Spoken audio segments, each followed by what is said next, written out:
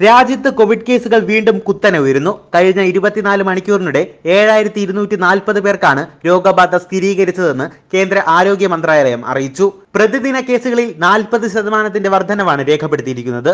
ഇതോടെ ഇതുവരെ രോഗം ബാധിച്ചവരുടെ എണ്ണം നാല് കോടി മുപ്പത്തിയൊന്ന് ലക്ഷത്തി തൊണ്ണൂറ്റി ഏഴായിരത്തി അഞ്ഞൂറ്റി ഇരുപത്തിരണ്ടായി കോവിഡ് വാക്സിൻ ബൂസ്റ്റർ ഡോസ് എടുക്കുന്നത് സംബന്ധിച്ച് അറിയിപ്പ് ലഭിക്കുന്നതിനിടെയാണ് കേസുകളുടെ എണ്ണം വർദ്ധിക്കുന്നത് അതേസമയം സംസ്ഥാനത്ത് തുടർച്ചയായി രണ്ടാം ദിവസവും കോവിഡ് കേസുകൾ രണ്ടായിരം കടന്നു. ഇരുപത്തിനാല് മണിക്കൂറിനിടെ രണ്ടായിരത്തി ഒരുന്നൂറ്റി തൊണ്ണൂറ്റി മൂന്ന് പേർക്കാണ് രോഗം സ്ഥിരീകരിച്ചത്.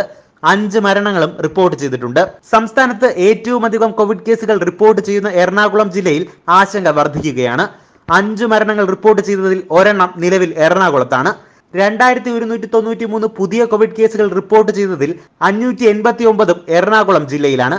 തുടർച്ചയായി രണ്ടാം ദിനവും ജില്ലയിൽ കോവിഡ് കേസുകൾ അഞ്ഞൂറ് കടന്നിരിക്കുകയാണ്. എറണാകുളത്തെ ആക്റ്റീവ് കോവിഡ് കേസുകൾ രണ്ടായിരത്തി അഞ്ഞൂറ് പിന്നിട്ടു. ജനങ്ങൾ കോവിഡ് ജാഗ്രത കൃത്യമായി പാലിക്കാത്തത് സ്ഥിതി കൂടുതൽ വഷളാക്കുമെന്ന് ആരോഗ്യ വിഭാഗം ആശങ്കപ്പെടുന്നു.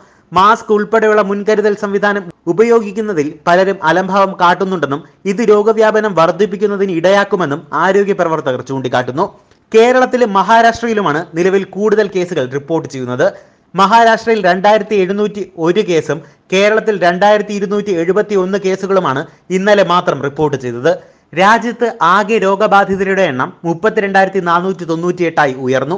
ഇരുപത്തിനാല് മണിക്കൂറിനിടെ രോഗം ബാധിച്ച് എട്ട് പേർ കൂടി മരിച്ചതോടെ ആകെ മരണം അഞ്ച് ലക്ഷത്തി ഇരുപത്തിനാലായിരത്തി എഴുന്നൂറ്റി ഇരുപത്തി മൂന്നായി ബുധനാഴ്ച മഹാരാഷ്ട്രയിൽ രണ്ടായിരത്തി എഴുന്നൂറ്റി ഒന്ന് പുതിയ കേസുകളാണ് റിപ്പോർട്ട് ചെയ്തത്. ഇതിൽ നാൽപ്പത്തിരണ്ട് ശതമാനവും മുംബൈയിലാണ്.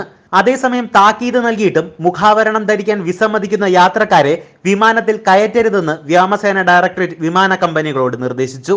ഇത്തരം യാത്രക്കാരിൽ നിന്ന് പിഴ ഈടാക്കാൻ വിമാനത്താവളങ്ങൾ പോലീസിന്റെയും സുരക്ഷാ ജീവനക്കാരുടെയും സഹായം തേടണമെന്നും ബുധനാഴ്ച പുറത്തിറക്കിയ നിർദ്ദേശങ്ങളിൽ പറയുന്നു. മുഖാവരണം ധരിക്കാത്ത യാത്രക്കാർക്കെതിരെ കർശന നടപടിക്ക് വിമാനത്താവളത്തിലെ ജീവനക്കാർക്ക് ഡി കൃത്യമായ നിർദ്ദേശങ്ങൾ നൽകണമെന്ന് ഡൽഹി ഹൈക്കോടതി ഉത്തരവിട്ടിരുന്നു. ഇതിന് പിന്നാലെയാണ് നടപടി.